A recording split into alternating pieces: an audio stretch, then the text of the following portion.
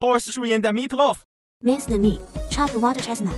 Add salt, chicken essence, sugar, pepper, light soy sauce, onion, garlic, chopped green onion, water chestnut, starch, eggs. Stir well. Rub in the bean skin. Steam for 15 minutes. Cut into sections. Fry in the pan. When the food is complete,